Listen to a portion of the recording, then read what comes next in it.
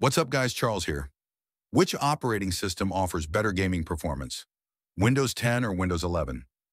Despite the release of Windows 11, Windows 10 remains widely used and relevant. In this comparison, we'll focus solely on gaming performance. Our test setup is straightforward. Both operating systems were freshly installed on four different hardware configurations. After installation, we added the necessary chipset and display drivers, along with our testing software in the five games we are benchmarking. The only change made to the Windows installation was disabling the core isolation feature on Windows 11, which has memory integrity enabled by default. In contrast, Windows 10 has memory integrity disabled by default.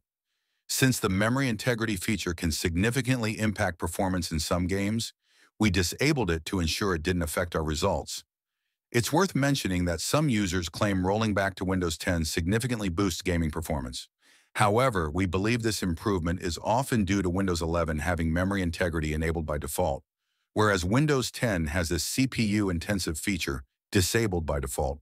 For those wondering, we did benchmark this on the Core i7-12700K back in late 2021, as at the time we found Intel's Alder Lake CPUs more interesting than AMD's Zen 3 processors. We don't necessarily recommend disabling memory integrity if you're using Windows 11, although we do so on our gaming systems. It's a risk we're willing to take because this feature consumes a lot of CPU resources, and since we primarily play competitive shooters, the performance impact can be significant. Just a quick disclaimer, this is not a recommendation.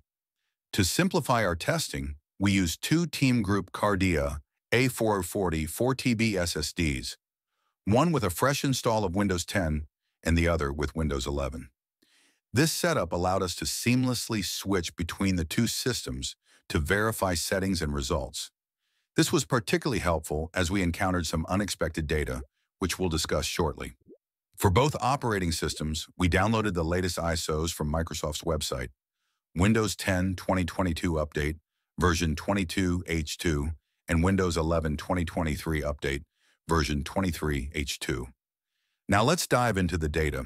Starting with Baldur's Gate 3, we find no performance difference between the two operating systems for either the AMD or Intel CPUs tested. So there's nothing notable here.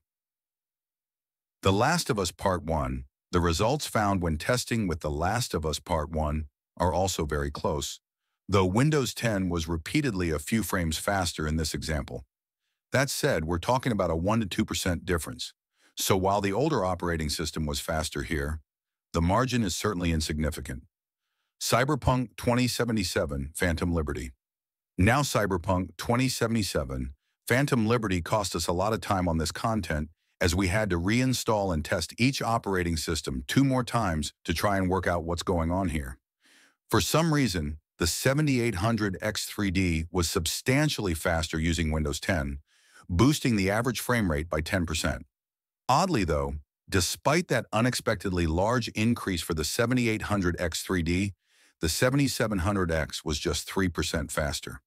We then moved over to the Intel test system and found a 6% increase for the 14700K when using Windows 10, along with a 7% increase for the 12700K. Of course, we triple-check quality settings along with the operating system and hardware configuration but failed to understand why this game is generally showing a fairly large performance increase when run on Windows 10 compared to Windows 11. Hogwarts Legacy, other newly released and highly demanding games such as Hogwarts Legacy, provided results that are in line with what we found previously. That is to say, there's no real difference in performance between Windows 10 and 11. Assetto Corsa Competizione it's a similar story, though here the 7700X was consistently 3% faster on Windows 10, while the 7800X3D was 2% faster. These are not exactly large margins, but again, the older operating system did consistently provide slightly better results. That's it for today's video. Do consider subscribing for all the latest content on gaming, and as always, I'll see you in the next one. Peace out.